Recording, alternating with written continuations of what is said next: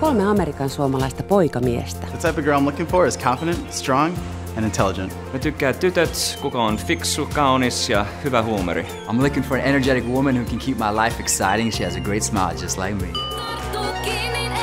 Suomessa heitä jokaista odottaa seitsemän tyttöystävä kandidaattia. Sulla on korkeat oikeasti odotukset tälle pojalle. Jotain pysyvää,